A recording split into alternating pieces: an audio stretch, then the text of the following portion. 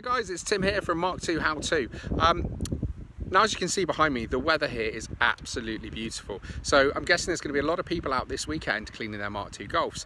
Now one question that always comes up every time the sun's out is, what can I do about my bumpers and my trims? Because they're absolutely faded and they're grey and they don't look like they used to. Um, and there will always be someone who will drop a comment saying, why don't you use linseed oil? It works great. I've been using it for ages. Well, does it work great? Is it the best thing to do? Or is there something else out there that might be just as good or better for around the same price? So I'm gonna have a look. I'm gonna go off now and get myself some linseed oil. I've had a quick check online, um, see where the closest place to me to get some is. So I'm gonna jump in the car. We're gonna go off and get some and then pop back home and uh, we'll see uh, we'll see what it looks like. So uh, let's see how we get on with this.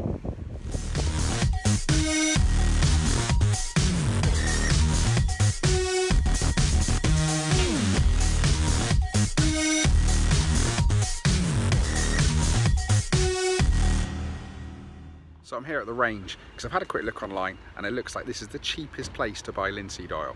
So let's go inside and see if we can grab some. Right, so I'm back home and I have the linseed oil.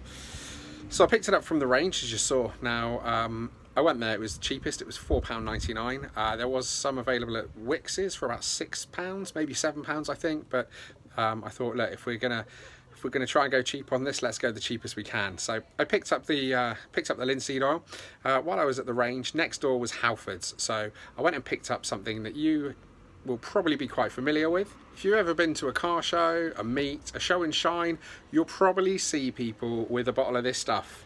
Meguiar's Endurance Tyre Gel. So uh, it works really well. It's £9.99. I did get it on sale for £9.11 because it's a bank holiday weekend. Thank you, Halfords.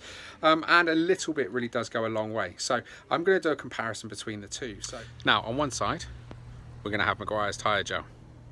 On the other side, we're going to use the linseed oil. So this should give us a good comparison to see uh, what the difference is. And in the middle, I've left a line which uh, means that we can actually see what an untreated bumper looks like. Now I'm going to leave this on the car for about a week to give us a good idea of, of what it's like. Now I'm not going to drive around with the tape on, but the tape's just there to stop the, uh, the Meguiar's or the linseed oil going on the other side. So again, this should answer the question, does linseed oil bring the back black to your trims? So to start with, on the driver's side of the car, so the left-hand side, because this is a, uh, a left-hand drive Jetta, we're going to use the linseed oil. Now already it smells a bit funky.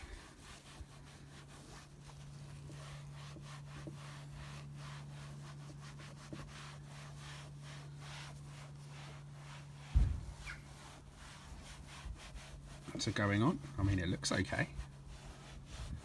So let's see how we get on with the rest of the car. So that's the linseed oil on one side of the car. So just a quick look at the back bumpers. You can see they've actually really blackened the bumpers quite nicely compared to the untreated side of the car. So now, for comparison, we're going to pop the Meguiar's on and see what the difference is.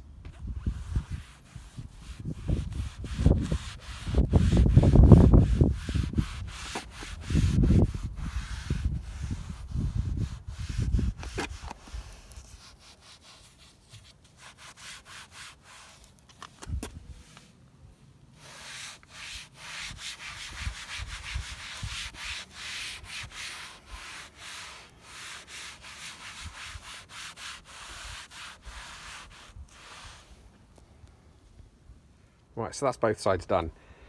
So let's take off the uh, masking tape in the middle.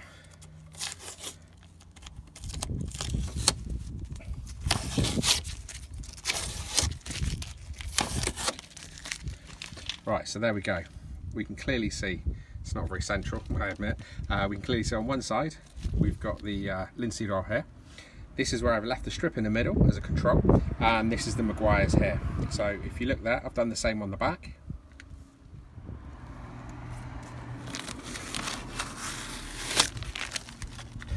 So we've got linseed oil, control untreated bit, and the side with the Meguiar's on it. So I've got these two trims here. So I've got a big bumper trim and a small bumper trim. On the big bumper trim, we're going to use the linseed oil, and on the small bumper trim, we're going to use the Meguiar's. I'm going to leave these in my back garden for a week as a control. So I've treated both sides of these rear arches as a control. That side has got the linseed oil on it so you can see it's come up really nicely. Looks good.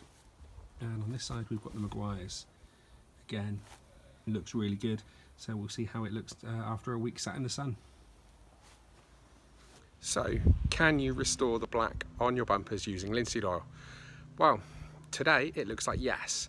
Yes you can. But let's give it a day or two and uh, I'm going to run this out for the rest of the week and we'll see how this looks. I'm going to run the car as a daily so it's going to get real world usage and yeah we'll um, we'll see what happens.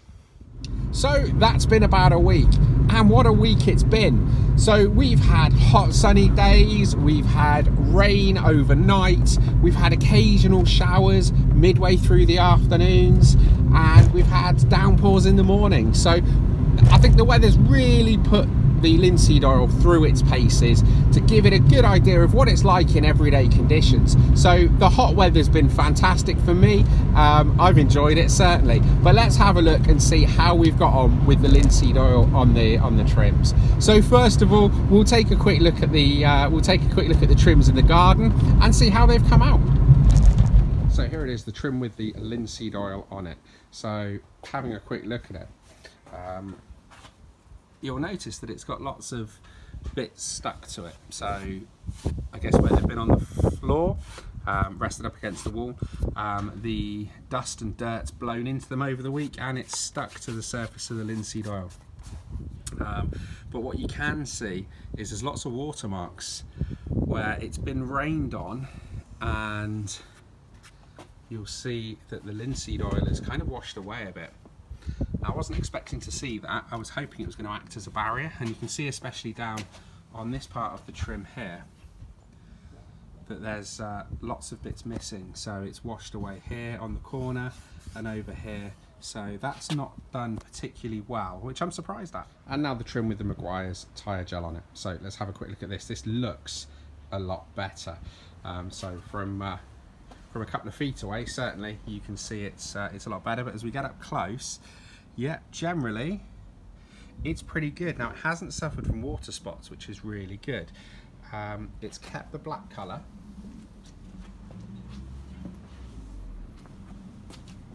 And it's still got a really nice sheen to it. So um, on these trims alone, there's a couple of little water spots, but nothing as dramatic as the um, as the linseed oil.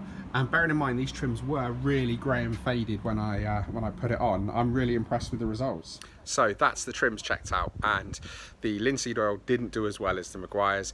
Um, so a couple of water spots, a couple of patches where it uh, had washed off altogether and uh, the trim was looking a bit faded. So um, we'll go back and have a look at the car now and see if uh, it's any different. So we're going to start on the side with the linseed oil and see how it got on. Let's take a closer look. So starting at the front of the car, you can see that it still looks quite black in comparison to the centre of the bumper that we left untreated. But you can see that there's some grey marks starting to come back. This looks like where it's rained overnight and the raindrops have pulled on the bumper.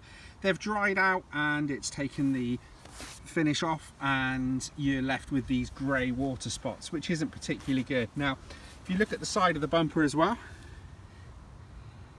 it's a bit hard to see in this light but you can kind of see around here where again it started to wash off and along the top of the bumper as well you can see that where the water's washed over the top it's it's washed the linseed oil off the top of the bumper so that's not looking great now as we come onto the side trims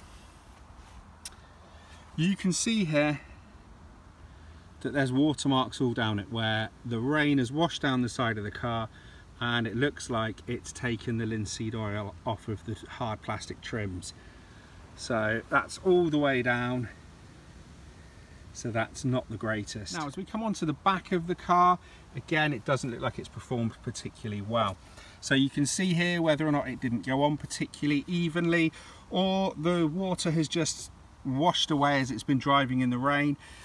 But you can see that you're left with this patchy finish. This may be where I thought earlier that there was some product underneath that hadn't quite washed off the bumper correctly. I'm not overly sure but what I do know is that it's not left a particularly great finish. And as we come round to the back you can see here that that's the center of the bumper there. And then where the, the water and the moisture pools at the back bumper on this car, you can see that it's generally taken the shine off of the linseed oil. It's very patchy, it's very grey and blotchy and doesn't look particularly great. So how did the linseed oil stand up against the Meguiar's? So let's take a look at the side that's got the Meguiar's on it and see if it did any better in these conditions. Right, so starting at the back, you can see it's a very smooth finish. Even though this is the area that collects the water, still looks great. Still got a really nice deep sheen to it and it's still a lot blacker than the standard untreated section. And again, the rest of this back bumper looks fantastic. So as we move on to the side trims, again, great result. Still looking good, no watermarks whatsoever, just looking nice and black. And as we move on to the front bumper, same story here.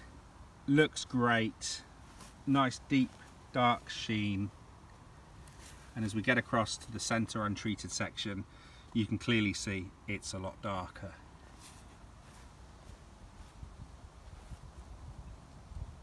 So that shows how to restore your bumpers and trims using linseed oil. But should you? That was the question. In my opinion, no. Um, I think the linseed oil was half the price, but I think the Meguiar's was a far superior product. At the end of the day, I'd quite happily drive around with my car looking like the side with the Meguiar's on for at least the next week or two.